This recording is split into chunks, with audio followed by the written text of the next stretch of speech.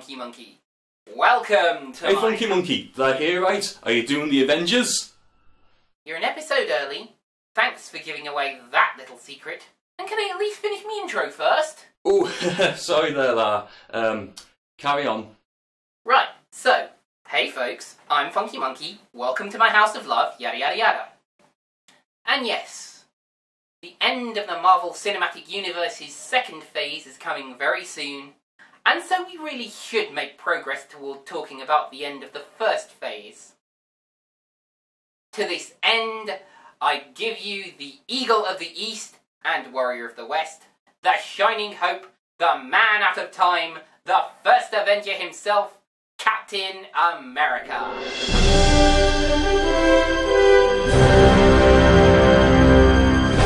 Released in July 2011, Captain America The First Avenger tells the origin story of a scrawny but almost suicidally gutsy young fellow who doesn't like bullies and the triumphs of science and tragedies of circumstance that turned him into the star-spangled Nazi-punching legend he is today. So without further ado, ladies and gentlemen, I present to you the final step on the road to the Avengers, Captain America. Meet Steve Rogers. He's not very big, but he's very brave. Start the cartoon! Hey, you want to shut up? Braver than I'd be in that situation. But then, British Reserve is a terrible thing sometimes. Pity he's not very handy with his fists. Hey, pick on somebody your own size. The soldier is Bucky Barnes, Cap's best friend. Of course, in the original comic books of the 1940s, Bucky was Cap's kid's sidekick. But nobody uses kid sidekicks these days, for whatever reasons. But he's determined to make the grade. Which he does, thanks to Dr. Abraham Erskine. There are already so many big men fighting this war. Maybe what we need now is a little guy. and one agent, Peggy Carter. Grenade! Get away! The consummate warrior has both courage and conscience. But then again, over here we've been training our lads with that since the year dot. And of course, the fateful day.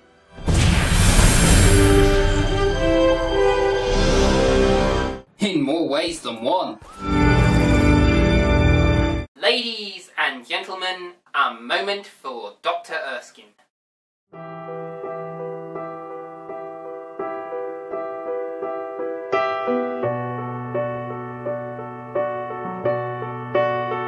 Are the rumors true? Are you doing the Avengers? next episode. Also, I was having a moment for Dr. Erskine, who just died. Oh, oh, oh, terribly sorry to say that. Wait, you're doing Captain America now? I Guess that makes sense. The assassin flees, but Steve pursues. On foot, on the roof, and even underwater. But there's only one escape for a captured spy. Hydra, Cobra, Mumm-Ra. Whatever has the ancient sun god Ra to do with all this evil? Maybe Linkara was right about ancient Egypt all along. One Johann Schmidt, head of Nazi science think tank Hydra, has harnessed the power of a cosmic item and plans to turn it against his enemies. We both knew Hydra could grow no further in Hitler's shadow. And there it is, ladies and gentlemen, laid bare for all to see. Trust. Without it, you'll never get very far at all. Back in the US, Private Rogers has received quite the promotion. You don't take a soldier, a symbol like that, and hide him in a lab. Even if that's not entirely how he sees it, It's bing, bang, boom. You're an American hero. though he does get to punch out Hitler.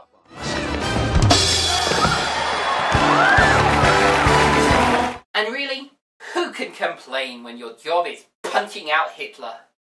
But the nascent Cap's promotion effort doesn't go down well with the actual troops.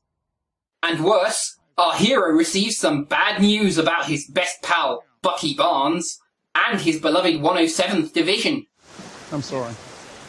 But Cap is bad at taking no for an answer, Reckling, you've got someplace to be in 30 minutes. Yes, sir. I do. and so from behind enemy lines, Cap infiltrates Hydra and frees the fighting 107th. But Schmidt is having none of it and blows the factory. What are you doing? Our forces are outmatched. In the chaos, and in helping Bucky escape, I thought you were dead. I thought you were smaller. we meet the Red Skull. Who escapes this encounter? Nazis. Terrible fascists, but undeniably stylish in their ways. Back at camp, the mood is sour, but shock! To them at least. Everyone's alive! And so the SSR and CAP's Howling Commandos relocate to London and royally ruin Hydra's plans. But not everything goes their way. Now, this is where we'd have a moment for Bucky. But for one, I'm not risking the interruption, and for two, well, spoilers. In spite of these setbacks, Dr. Zola, Hydra's chief scientist, is taken alive and makes a deal for his life. This will make a lot of people very angry, have a lot of negative implications in the sequel, and will come to be widely regarded as a bad move. Also, it will be the indirect cause of many, many, many internet arguments. But what it also does is give Cap the location of Hydra HQ, It's not like we can just knock on the front door. Why not? and just in time, as the Red Skull has an airborne superweapon just waiting to take off. The Howling Commandos battle their way into the weapon's hangar. But oh dear, it's taking off!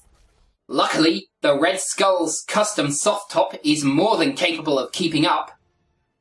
In the weapon's cockpit, Cap and the Red Skull square off. The power of the Tesseract is the Red Skull's undoing. But there's still the little matter of landing this superweapon somewhere far from harm. Right now, I'm in the middle of nowhere. If I wait any longer, a lot of people are gonna die. Cap and Peggy say their goodbyes, and the weapon crash lands in the Arctic.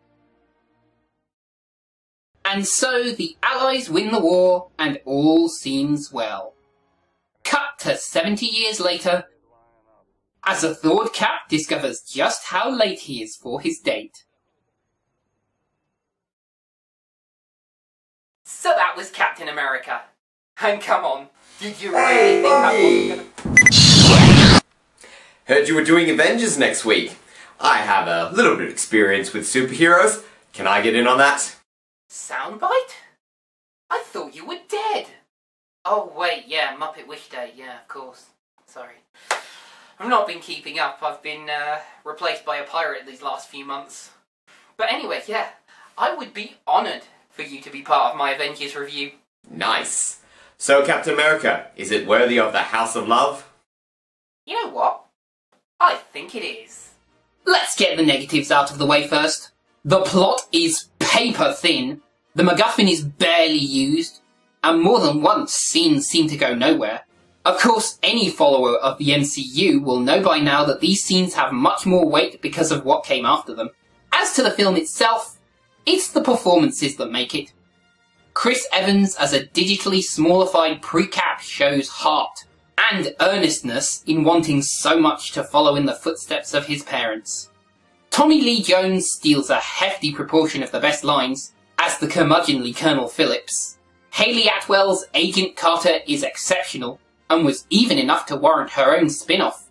Hugo Weaving's Red Skull is more one note. Another sneering superior villain, but I suppose it pays the bills.